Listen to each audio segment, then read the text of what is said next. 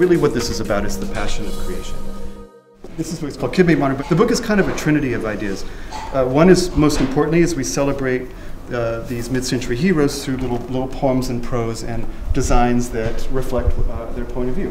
One of the things I'm always inspired about so many artists from, from that, that excelled in the mid-century is that they were so interested in sharing their ideas with young folks. And I was a, a a little boy, and I wanted to know what kind of paintbrush to use, and I wanted to know what gouache was. And, you know, I've always felt a little bit like Margaret Mead as I've gone through my life, and uh, looked at things more like an anthropological point of view. And if you look at things like that, pretty much everything's fascinating. Even the dullest of materials. I mean, if you don't even care about what you're looking at, at least look at the way that the, the, text is sitting on the page, because there's something to learn about all of it. The tooth of the paper. I mean, just look look at the book sideways. Look at the old end papers. Look at the old, you know, the the reinforcements. There's something you can learn from every book, whether, like whether it's from its physicality or from the actual words.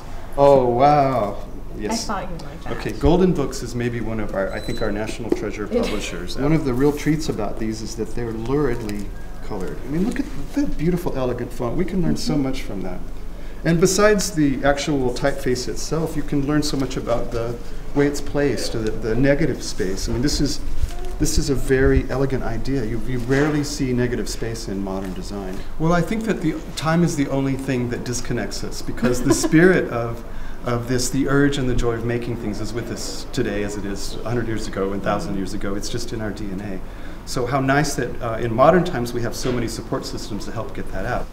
Before we started the book, we came here, did our research, and fine-tuned uh, some of our ideas, and we, we, we couldn't have done it as easily if we hadn't had the New York Public Library to come to. I'm so glad that we had stuff to inspire you. Indeed. I think it would be impossible for anyone not to be inspired at this place.